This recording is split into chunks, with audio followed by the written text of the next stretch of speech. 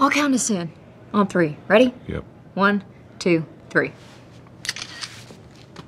Christ. It's like you're related, and not in a hot way. Good Lord, Bobby, pull her in. We're not doing an immaculate conception plot line. Theoretically, this girl gives you a boner. Okay, you sit here. Mm-hmm. I'm gonna straddle you. Cool? Okay. Just gonna. Right. Okay.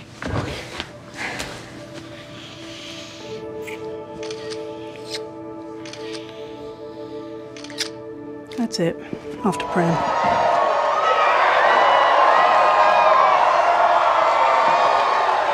Get out of the ring now.